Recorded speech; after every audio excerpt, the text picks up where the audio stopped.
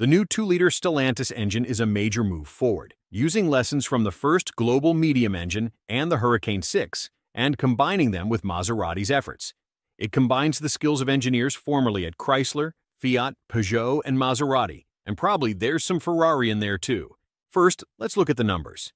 In the Grand Cherokee, it seems to get an extra 1 mile per gallon over the V6 running on regular gasoline. Yet it provides 324 horsepower and 332 pound-feet of torque, considerably more than the V6. What's more, the peak torque is good from 3,000 to 4,500 RPM. Some of the new technology includes a variable geometry turbocharger, which was first used by Chrysler in the 1991 Spirit RT but is now quite common.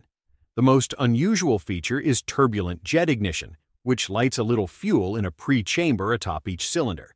That burning fuel jets into the chamber, triggering a fast, complete burn, increasing both performance and efficiency. The engineers combine that with a Miller cycle, which closes intake valves early, locking in the power and reducing emissions, and allowing an absurdly high 12.1 compression ratio without knock on regular fuel.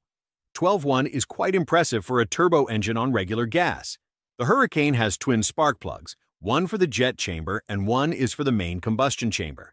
That makes it quite different from the Hemi V8 or old Alfa Romeo twin spark systems. Many people are afraid of direct injection because early direct injection engines tended to carbon up and fail. The solution to that has been known for years, using port fuel injection as well. This engine uses both, with 5076 psi direct injection and port injection alike. Both are used on cold starts and typical power loads, but at low load and idle, they only use port injection, which cuts particulates and noise. The turbocharger delivers a nice 35 psi, which is 2.4 bar. Just one turbocharger is used, instead of two with the Hurricane 6. It provides 90% of peak torque from 2600 to 5600 RPM, which means you have more torque at 2600 RPM than the Pentastar V6 has at peak. As you would expect, there is a charge air cooler, which people often and wrongly call an intercooler. The water pump is electrical, and the oil pump has variable displacement to avoid parasitic losses. Even the variable valve timing is controlled by an electric camshaft phaser. The block is nice and strong, a die-cast deep-skirt aluminum single-piece casting produced by Stellantis. Bore walls are 24% thicker than in the first GME 2-liter four-cylinder, and there are numerous other features which increase stiffness and durability.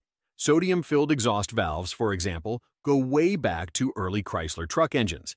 This engine is meant to last, which is good because it is rated for over 6,000 pounds of towing in the Jeep Grand Cherokee. The engine is made in Dundee, Michigan, and will also be made in Kokomo, Indiana.